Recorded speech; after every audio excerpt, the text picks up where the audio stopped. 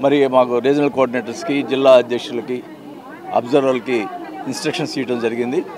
అందరూ కూడా మరి రేపు ఇరవై కల్లా ఈ ఈ సచివాలయంకి సంబంధించినటువంటి దానికి ముగ్గురిని కన్వీనర్ని ఏ- ఏర్పాటు చేయమన్నారు పార్టీ పరంగా.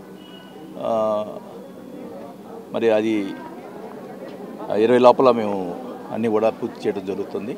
అంటే సచివాలయం పార్టీకి సంబంధించి ఎవరైతే బాగా పనిచేస్తారో వాళ్ళకి ప్రాధాన్యత ఇవ్వటం జరుగుతుంది.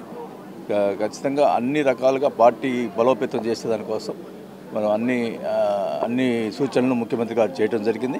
దాని ప్రకారం మేము అన్ని మన మాకు ఇచ్చిన మూడు జిల్లాల్లో అబ్జర్వేషన్ చేస్తూ మరి అన్ని అన్ని నియోజకవర్గాల్లో ఈ కార్యక్రమం పూర్తి చేయడం జరుగుతుంది కూడా అంటే వాళ్ళైతే ఏమేం చేసుకోవచ్చు మేము మా ఏమైనా పార్టీ కార్యక్రమం చేయడం కూడా తప్పే నా ముందస్తు ఎన్నికలు. వాళ్ళు అట్టే అనుకోము మనకేం మాకేం నష్టం లేదు.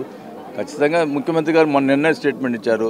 పదహారు నెలలు యుద్ధం చేయాలా ఎలక్షన్లని. ఆయన ముందస్తు అయితే ఆ మాట ఎందుకు అంటాడు?